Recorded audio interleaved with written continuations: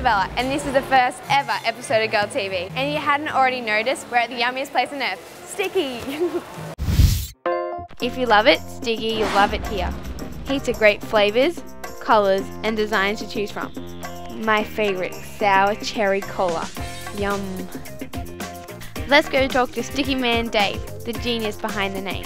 How many flavours do you have? Uh, we've probably got about 45 standard designs and flavours that we sell in the shop, generally speaking, but we're always experimenting and always doing new things. We've probably identified about 75 things on a rotating basis that we really like doing, but there's always something new to do.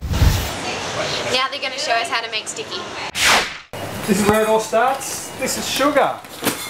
Normal crystalline sugar that you'd put in your coffee, that you'd put in your tea, that you'd sprinkle on your cornflakes. Uh, essentially most of what we do is a basic mix of sugar and this stuff, which is glucose. The candy is super hot, over 150 degrees. They pour it onto a special tray to take the heat out of the candy. No touching. The candy guys add the colour and mix it up very carefully.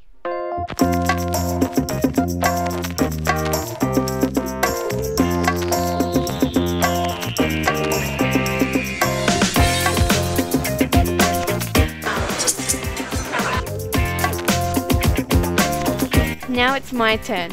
Not as easy as it looks. Feels like really hot plasticine. And we're going to stretch it, throw it back up. Stretch it, throw it back up. Okay, candy making doesn't look like the job for me. I think I'll leave it to the experts. You left-handed or right-handed? For the final touches, we're going to make candy into a teardrop shape. Part the middle and stick in the red candy. It looks like a hot dog, but believe it or not, we're making a heart. The guys just keep on adding and adding layers of candy around it to make it huge. Can't see that fitting in a jar. We're getting close now. Now they stretch it and roll the sticks so they don't stick together. Finally, it's ready to cut. He works like a machine.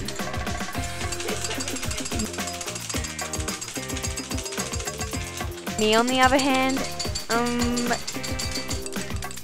now we're ready to go. Next time you eat a piece of sticky candy, just remember how much love and tender care went into making each piece. It might have been the strawberry hearts I made. Who knows? There you go, Isabella. Have a great day. Thank you. I never knew there was such a big process of making lollies. Now I'm going to go home and enjoy my heart rock candy. Bye.